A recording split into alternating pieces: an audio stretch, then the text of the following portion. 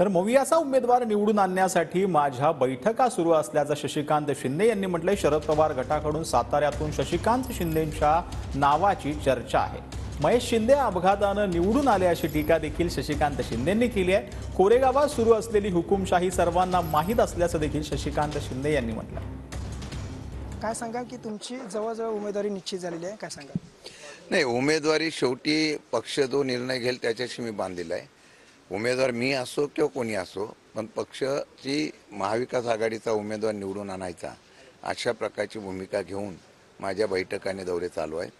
उद्या जरी माझं नाव आलं तरी ज्यावेळेला माझा नेता या असलेल्या सर्व ह्याच्यामध्ये महाराष्ट्राच्या स्वाभिमानासाठी लढतोय त्यावेळेला मी ते सांगतील ती जबाबदारी घेण्यासाठी निश्चितपणे तयारी असेल. सातारा जिल्ह्याचे वाटोळे आता होईल असं महेश शिंदे म्हणतात आहे तुमच्या उमेदवारी जाऊन द्या अपघाताने निवडून आलं त्याच्याबद्दल काय स्टेटमेंट द्यायचं आहे आता कोरेगावच्या प्रामाणिक जनतेला सगळ्यांना विचारा.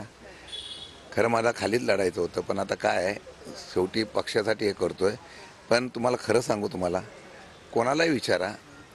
ज्या पद्धतीने कोरेगावमध्ये हुकुमशाही चाललेली आहे ना ती सर्वसामान्यांना माहिती आहे. आणि किती वाटोळं कोणाचं चांगलं झालं ते लोकांना अडीच वर्षात कळलेलं आहे. आणि त्यांच्याबद्दल मी स्टेटमेंट देणं बरोबर नाही वाटत मला. त्यामुळे समोर अविनाश माने टीव्ही मराठी मुंबई.